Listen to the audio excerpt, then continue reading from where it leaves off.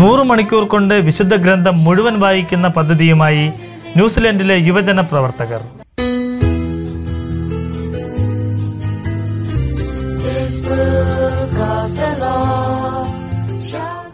November ഇരുപത്തിമൂന്നാം തീയതി വൈകുന്നേരം ആറ് മുപ്പത് മുതൽ ഇരുപത്തി ഏഴാം തീയതി രാത്രി ഒൻപത് മുപ്പത് വരെയാണ് ബൈബിൾ മാരത്തോൺ ക്രമീകരിച്ചിരിക്കുന്നത്.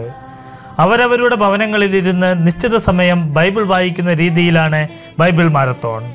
ഇതിനായി കുടുംബാംഗങ്ങൾ ബൈബിൾ വായിക്കുന്ന സമയം തിരഞ്ഞെടുക്കുകയാണ് ആദ്യം ചെയ്യേണ്ടത്.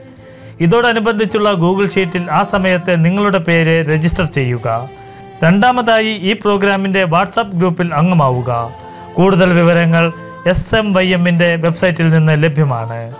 ദൈവവചന വായനയിലൂടെ ക്രിസ്തുവുമായുള്ള ബന്ധം പുനരുജ്ജീവിപ്പിക്കുകയാണ് ഈ ബൈബിൾ മാനത്തണിന്റെ ലക്ഷ്യം. കൂടുതൽ വിവരങ്ങൾക്ക് W W W dot S M Y M dot O R G dot net Email info at smym.org.nz.